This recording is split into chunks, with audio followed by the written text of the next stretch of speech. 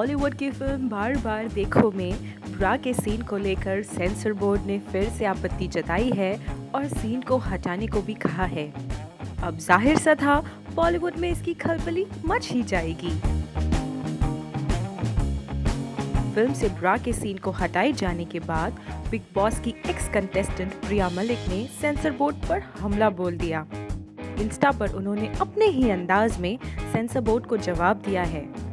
एक तस्वीर पोस्ट करते हुए प्रिया ने लिखा, क्योंकि दिखाने वाली ब्रा पहना अभर्थ होगा। प्रिया ने इस पोस्ट में hash tag free the nipple भी लिखा है।